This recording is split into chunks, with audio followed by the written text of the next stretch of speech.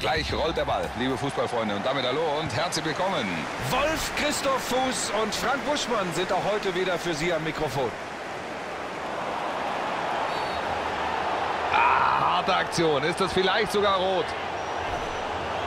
Man kann eigentlich nur hoffen, dass es nicht so weitergeht jetzt. Eine frühe rote Karte. Die Spieler sollten gewarnt sein. Der Schiri hier lässt nichts durchgehen.